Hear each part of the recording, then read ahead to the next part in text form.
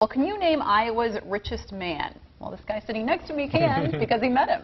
Up very early this morning, Todd. Welcome to our. Uh, yes, it is very early.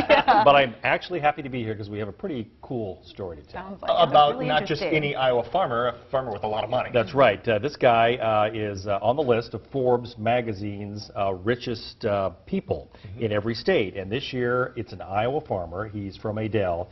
Uh, you probably never heard of him if you don't go out there. Uh, his name is Harry Stine. Uh, he is a basically a, runs his family business there. It's called the Stine Seed Company.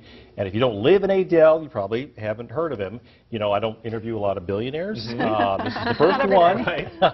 uh, he was nice enough to let us come out, talk to him, and really just an absolutely fascinating man. And he really tells an amazing story. His company headquarters is in sort of a rural area on the farm where he grew up in Adel. He was dirt poor as a kid. Uh, of course, he's no longer No. poor. Very rich now. it. It turns out he has a knack for hybridizing seeds, so he has actually grown his company into the largest private family seed company in the United States. Uh, and of course, now Forbes magazine says he's worth, get this, $3 billion. Yikes.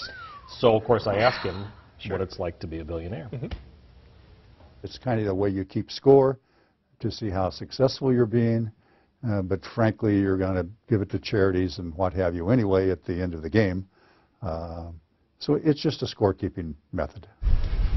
It's a big score, Yes. and uh, what's really interesting about Stine, he says he is actually repulsed by people who show off all their expensive things. So he drives, as you can see there, just a pickup truck, lives in a modest house at the farm, doesn't act like you would think a billionaire does. Wow. Uh, he also had to overcome two really unusual personal problems that you might think would actually prevent him from becoming successful. But we'll explore that, kind of tell you about that coming up tonight at So 10. how does actually hybridizing seeds make one a billionaire? Well, he sells seeds, of course, that they grow in Iowa and also in mm-hmm. South America, but they sell a license to these seeds. Mm-hmm. And companies all over the United States, about two-thirds of all the soybeans that are grown belong to him.